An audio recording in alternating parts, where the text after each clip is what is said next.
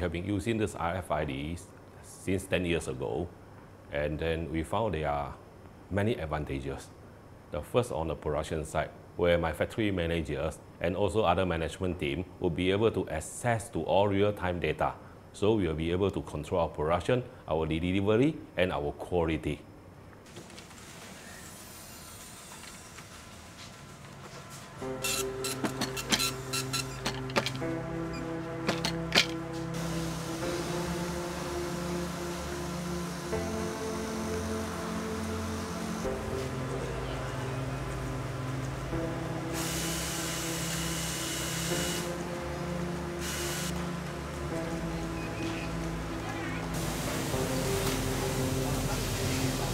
还没有就这个这个系统之前呢，花在生产时间相当的多，几乎是那个一天工作量的七十八件。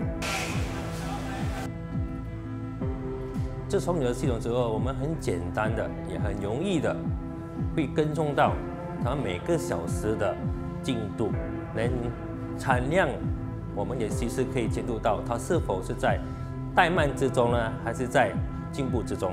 哦 supervisor very happy.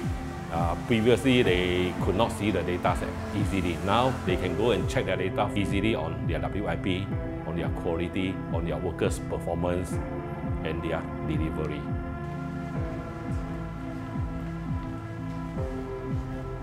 We can extract the data from the GPRO system. The data is to show that the workers' earnings, and we can do the payroll faster. Within two hours, we can finish. The workers feels as uh, happy and uh, also feel that the accuracy is good.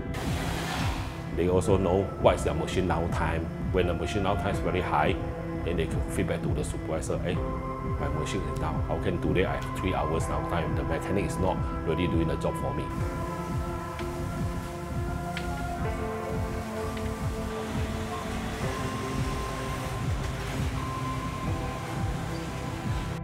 This new GPRO system, we are able to know any delays on the production line, any possibility that we are able to do a bit more, like a slotting order if other lines are not able to make the delivery. So they are more flexible for us to immediate and quick adjustment. We are looking into the real-time planning and this data can be downloaded directly from the GPRO system and you can reflect to our planning whether we are behind schedule. So we are looking into PSM actively, which whereby I see the system is very proactive and also I think is very useful to us.